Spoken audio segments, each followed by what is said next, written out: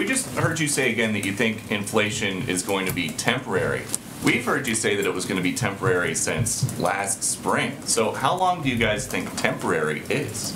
Well, again, Peter, I think what we do is we rely on the assessments of the Federal Reserve and of outside economic analysts who give an assessment of how long it will last. The expectations and their assessment at this point continues to be that it will moderate by the end of the year. There's also no question that when a foreign dictator invades a foreign country and when that foreign dictator is the head of a country that is the third largest supplier of oil in the in the world, that that is going to have an impact, and it is. And so to that point, inflation goes up today. The president's statement blames the Putin price hike.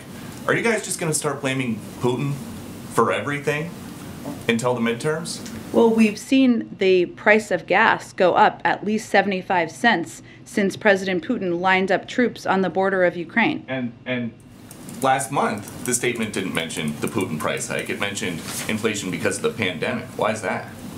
Well, Peter, last year, last two years, there was a pan- global pandemic. Everyone who's uh, global economists have all agreed that that has been the biggest contributor to date of inflation because of the impact on the supply chain. Obviously, global events impact the economy, the global economy, as well as global inflation. And the uh, price hikes as a result that have ex- escalated over the course of time of President Putin's further invasion of uh, the impact on the global oil markets are, of course, having an impact. Uh, President Biden has hosted electric vehicle stakeholders here at the White House. Would he host oil and gas producers, the people who are the most affected by the Putin price hike? Well, the oil and gas, pr- I have nothing to preview or predict for you in terms of him hosting uh, oil company executives. Is he open to that?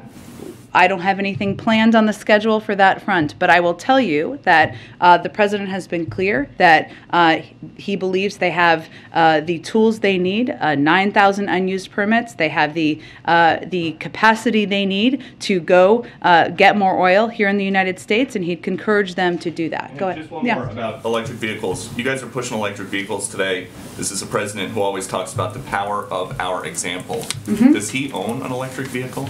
Presidents of the United States don't do a lot of driving. He's posted videos where he's revving the engine of his Corvette in Wilmington. He owns cars. And he also has driven electric vehicles as president, as, as to give a model to the rest of the country. Does he own one? I think the president's record on this is clear, Peter. Presidents of the United States, current and when they are, they are no longer, typically are not doing a lot of driving.